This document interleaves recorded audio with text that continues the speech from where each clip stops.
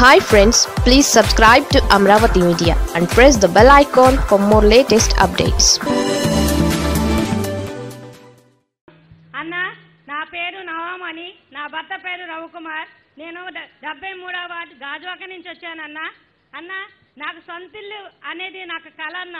మేము చాలా పేద కుటుంబంలో ఉన్నామన్న నా భర్తకి నేను సంపాదిస్తే కానీ చాలా చాలా జీతాలతో బ్రతుకుతున్నామన్నా అలాంటిది సొంతిల్లు అనేది మా కళ అన్న. కానీ ఈ కల కంటూనే ఉంటామేమో అనుకున్న తరుణంలో అన్న మీరు నా సొంతిల్లు కళని నాకు ఇచ్చినందుకు మీకు మరీ ధన్యవాదాలన్నా అన్న. ఇలాంటి కళ కంటాను నాలాంటి పేదరాలికి ఇల్లు వస్తుందని నేను ఎప్పుడూ ఊహించలేదన్నా. నేనే కాదన్నా నా కుటుంబము నా నాకు ఇద్దరు పిల్లలన్నా. నా పిల్లలు కూడా జీవితాంతం మీకు రుణపడి ఉంటానన్నా.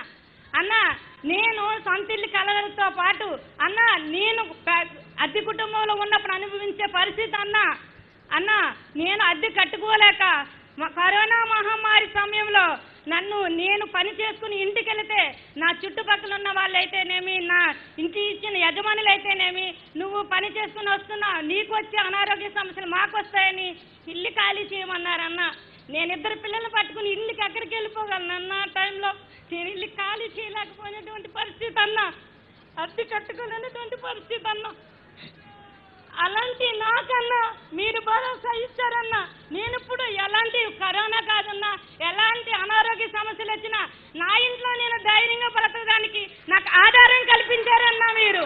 నాకే కదన్నా ఇప్పుడు నేను ఒక్కదాన్ని మాట్లాడుతున్నానన్నా ఈ అనేక మంది ప్రజలకు ఇదే ఆలోచన ఉందన్నా అందరూ నాలాంటి వాళ్ళమే ఉన్నామన్నా ఇక్కడ. మీరన్నా మీరు మీరిచ్చిన ఈ జీవితాంతం మీకు రుణపడి ఉంటామన్నా. కరోనా సమయంలో నాకు పని లేని సమయంలో నా భర్తకు పని లేని సమయంలో అన్న అమ్మ నేనున్నానని చెప్పి నా భర్తకి జగనన్న తోడు ద్వారా పదివేల రూపాయలు కల్పించారన్న. అలాగే అన్న నాకు వైఎస్ఆర్ ఆసరా ద్వారా పన్నెండు వేల రూపాయలు ఇచ్చారన్న. సున్నా వడ్డీ ద్వారా ఎనిమిది వేల రూపాయలు ఇచ్చారన్న. ఇది కరోనా అంటే అందరూ ఇబ్బంది పడ్డారు కానీ మా అన్న ఉండగా నేను ఎప్పుడూ ఇబ్బంది పడలేదని గర్వంగా చెప్పుకుంటున్నాను అన్న ఇలాంటి గొప్ప అవకాశాన్ని ఇచ్చారన్న. అన్న ఇంకా చూస్తే మీరు అందరూ అంటారన్న మహిళా పక్షపాతి మీ అన్నని. ఆ మాట అనడంలో మాకు ఎలాంటి అతిశయోక్తి లేదని గర్వంగా చెప్పుకుంటున్నానన్న. ఎందుకంటే అన్న మమ్మల్ని ఈ స్టేజ్ మీదకి ఎక్కించి ఇలాంటి ఒక మాట్లాడే అవకాశం ఇచ్చినందుకు మీకు ధన్యవాదాలు అన్న. అన్న ఇంకా చెప్పకపోతే చాలా ఉన్నాయన్న.